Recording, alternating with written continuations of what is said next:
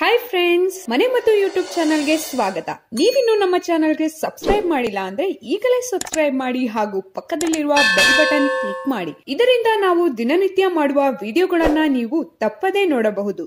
ಬೆಳಗಿನ ಸಮಯದಲ್ಲಿ ಹಲ್ಲುಚ್ಚಿದ ನಂತರ ಹಸಿದ ಹೊಟ್ಟೆಯಲ್ಲಿ ಸ್ವಲ್ಪ ಕರಿಬೇವು ಹಾಗೂ ಅರ್ಧ ಚಮಚ ಜೀರಿಗೆಯನ್ನು ಸೇವಿಸುವ ರೂಢಿ ಮಾಡಿಕೊಂಡರೆ ಅನೇಕ ಲಾಭಗಳಿವೆ. ಕೂದಲು ಉದುರುವಿಕೆ ಕಡಿಮೆ ಆಗುತ್ತದೆ. ದೃಷ್ಟಿದೋಷ ಸಮಸ್ಯೆಗೂ ಪರಿಹಾರ ನೀಡಬಲ್ಲದು. ಖಾಲಿ ಹೊಟ್ಟೆಯಲ್ಲಿ ಕರಿಬೇವು ಸೇವನೆ ಗ್ಯಾಸ್ಟ್ರಿಕ್ ಹಾಗೂ ಅಸಿಡಿಟಿಯಿಂದ ಮುಕ್ತರಾಗಬಹುದು. ಕೀಲು ನೋವು ಕಡಿಮೆ ಆಗುತ್ತದೆ ಮತ್ತು ರೋಗ ನಿರೋಧಕ ಶಕ್ತಿಯನ್ನು ಹೆಚ್ಚಿಸುತ್ತದೆ. ಸಂಧಿ ನೋವು ಮುಂತಾದ ಸಮಸ್ಯೆಗಳಿಗೆ ಕರಿಬೇವು ಸೇವನೆ ಪರಿಹಾರ ನೀಡುತ್ತದೆ. ಕರಿಬೇವು ಸೇವನೆ ಸಕ್ಕರೆ ಕಾಯಿಲೆಯನ್ನು ನಿಯಂತ್ರಿಸುತ್ತದೆ. ದೇಹಕ್ಕೆ ಅಗತ್ಯವಾದ ಕ್ಯಾಲ್ಸಿಯಂ ನೀಡುತ್ತದೆ. ಕಹಿಬೇವನ್ನು ಅರೆದು ಮುಂಜಾನೆ ಕುಡಿದರೆ ದೊಡ್ಡವರಲ್ಲಿ ಜಂತು ಹುಳುವಿನ ಸಮಸ್ಯೆ ಉಂಟಾಗುವುದಿಲ್ಲ. ವಾಯು ಸಂಬಂಧಿ ಸಮಸ್ಯೆಯನ್ನು ನಿವಾರಿಸುವ ಶಕ್ತಿ ಇದಕ್ಕಿದೆ. ಹಸಿದ ಹೊಟ್ಟೆಯಲ್ಲಿ ಬೆಳ್ಳುಳ್ಳಿ ಸೇವಿಸುವುದರಿಂದ ರಕ್ತದೊತ್ತಡ ನಿಯಂತ್ರಣಕ್ಕೆ ಬರುತ್ತದೆ. ಹೊಟ್ಟೆಯನ್ನು ಬ್ಯಾಕ್ಟೀರಿಯಾದಿಂದ ಮುಕ್ತಗೊಳಿಸುತ್ತದೆ. ಜೀರ್ಣಕ್ರಿಯೆ ಉತ್ತಮವಾಗುತ್ತದೆ. ಉದ್ವೇಗ ಹಾಗೂ ಆತಂಕದಿಂದ ಎದೆ ಬಡಿತ ಹೆಚ್ಚುವ ಸಮಸ್ಯೆ ನಿಮ್ಮಲ್ಲಿದ್ದರೆ ಬೆಳಗ್ಗೆ ಎದ್ದು ಖಾಲಿ ಹೊಟ್ಟೆಯಲ್ಲಿ ಸೀಬೆಹಣ್ಣು ಸೇವಿಸುವುದು ಅತ್ಯುತ್ತಮ.